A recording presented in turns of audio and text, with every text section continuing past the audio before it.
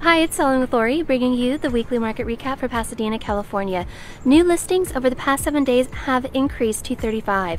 14 active under contract, 17 pending, 27 closed transaction, all down from last week. But with new homes coming to market daily, these numbers should increase by next week. And the median list price for single family homes in Pasadena is slightly below $1.4 million with the median days on market at 49. Condos are hovering around $920,000 with 42 days on market.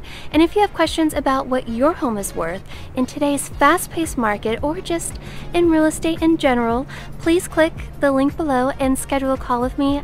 I would love to hear your story. Bye you